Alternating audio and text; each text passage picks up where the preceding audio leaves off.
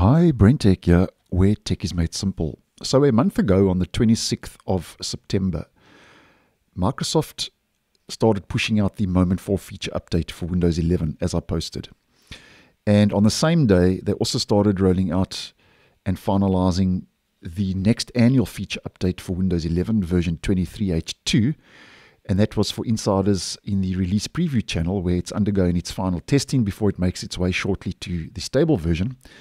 And I'll leave that video down below as well. But just to let you know that a month later now, on the 26th of October, which was yesterday in my region, uh, the 23H2 feature update has received another update in the release preview channel, which is KB5031455. And if that sounds familiar, the same update rolled out to the stable version yesterday, KB5031455.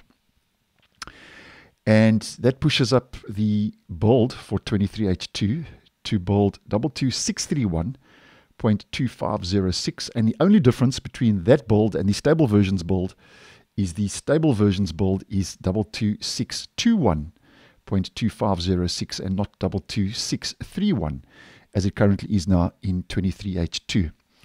Now my reason for mentioning this uh, this update in release preview for 23H2 is because some are saying that this is one of the smallest updates ever for Windows 11 and only one thing has changed in this release, in the release notes, where under all apps in the start menu, Windows 11 system components will now show a system label. And this has already started rolling out to Windows 10 as I posted on earlier today.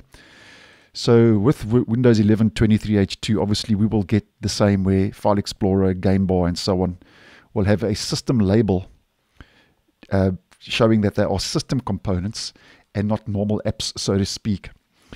Now, this is also another indication, um, because Microsoft has only rolled out one small little improvement with this update to the release preview channel where we are and where they are finalizing 23H2 is another indication that obviously uh, the lid is almost on that feature update and it's going to be rolling out shortly. Um, if it doesn't roll out next Tuesday, the 31st, I'm sure we, we should start seeing it on the 14th, which will be Patch Tuesday, the second Tuesday of November.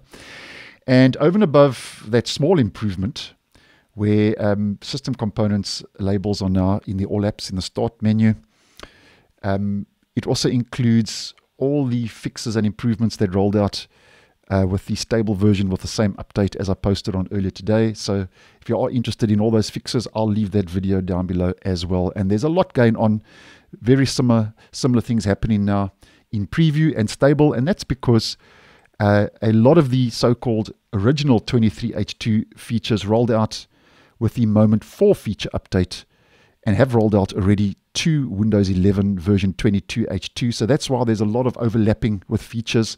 And as I've mentioned previously, 23H2 will not be as big an update or as large an update as the Moment 4 update would be and it will include a couple of new features, but won't be as near as large as 20, sorry, as Moment 4, because Moment 4 included approximately 150 new features. But nonetheless, just putting it out there, just another indication that that 23H2 feature update is almost here.